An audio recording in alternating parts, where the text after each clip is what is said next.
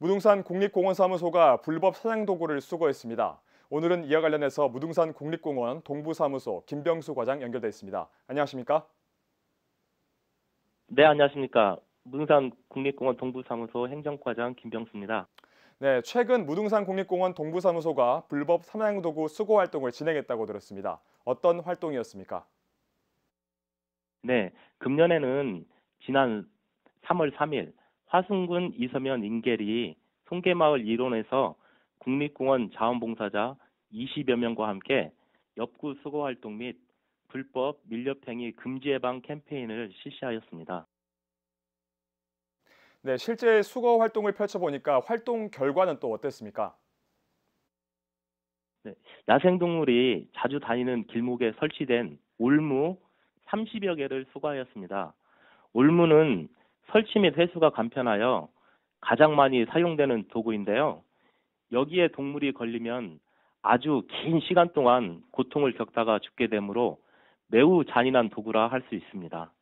이것은 이제 쉽게 없어지지는 않는 것 같아요. 매년 실시를 하면 매년 나오는데 이제 우선은 이장님들이나 그 대표분들한테 좀 이야기를 하고 지역 주민들과 뭐 간담회를 한다든지 해가지고 장기적인 관점에서 뭐 홍보를 해야 이게 점점 줄어드는 그런 문제라고 생각합니다. 네, 실제 무등산 국립공원에 있는 야생동물은 어떤 게 있습니까?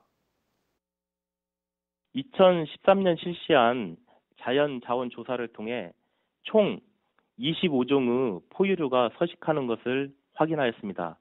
특히 멸종 유기종 1급인 수달, 2급인 삭, 담비, 하늘다람쥐가 서식하며 고라니, 노루, 멧돼지, 너구리, 오소리 등의 야생동물이 무등산에 서식하는 것을 확인하였습니다. 네, 멸종위기 종부터에서 다양한 종물들이 서식하는데 만일 불법 야생동물 포획 시에 처벌은 어떻게 되는 겁니까? 국립공원 내에서 야생동물을 잡기 위하여 화양류, 덫, 올무 또는 함정을 설치하거나 유독물, 농약을 뿌린 자는 1년 이하의 징역 또는 1천만 원 이하의 벌금에 처해지므로 각별한 주의를 요합니다. 네, 마지막으로 지역민들에게 한 말씀 전해 주시죠. 국립공원은 미래 세대에게 물려주어야 할 소중한 유산입니다. 국립공원에서 야생동물 서식지 보호 및 생태계 건강성 유지를 위하여 밀렵행위는 금지되어 있습니다. 무등산 국립공원을 보호하기 위하여 지역 주민과 자원봉사자 여러분들의 지속적인 관심과 협조를 부탁드립니다. 네, 무등산의 생태계 유지를 위해 지속적인 단속 활동 기대하겠습니다. 오늘 말씀 여기까지 듣겠습니다. 고맙습니다.